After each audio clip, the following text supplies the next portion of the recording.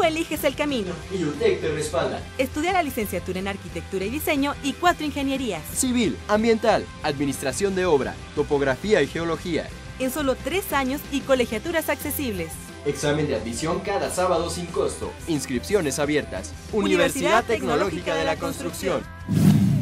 UTEC.mx o en Facebook UTEC Michoacán.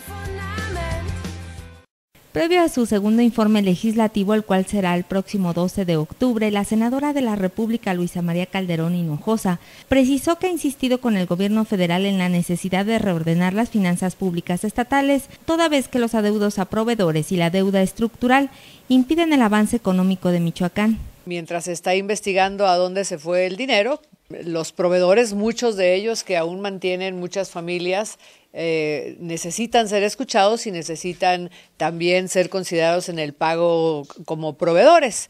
En rueda de prensa, la senadora señaló la necesidad de transparentar el destino de los recursos y evitar que la ciudadanía pague más impuestos. Nosotros hemos pedido que primero traigan la lana que se llevaron, que eh, transparenten en dónde están los que se llevaron el dinero y, podríamos pues hablar de otras cosas, pero volver a pedirle a los michoacanos que paguen tenencia, que eh, sigan pagando, eh, nos parece que es injusto.